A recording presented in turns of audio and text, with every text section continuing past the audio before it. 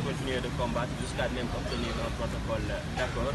Et dans ce protocole d'accord, il y a la signature de la Sénélec, la signature de Innocence Tabiaï. Qu'est-ce qui est contenu dans le protocole Le protocole, la Sénélec nous a dit, chaque année, on va prendre euh, parmi vous en leur donnant des CDI et des CDD.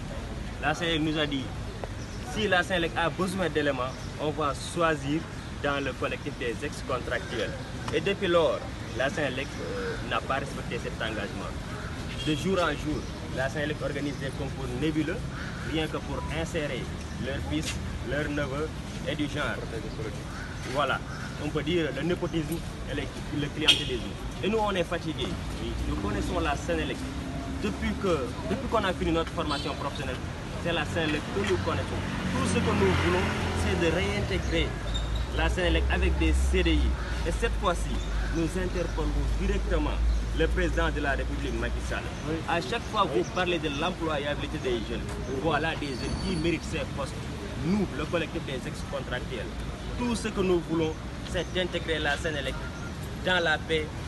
Mais c'est la Sénélec, la direction, qui ne peut pas nous réintégrer, mais il fait, euh, le directeur fait tout ce qu'il veut avec sa direction. Qu'est-ce que vous venu faire aujourd'hui Sitting, sitting suivi euh, d'une grève de la faim, mais euh, beaucoup d'autorités nous ont appelés en nous disant